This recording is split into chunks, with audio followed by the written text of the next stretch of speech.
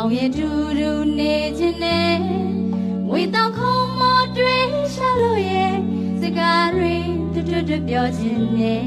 နှစ်ဦးသားချစ်တွေဖလဲရေမြေရချသွားလို့နေသူ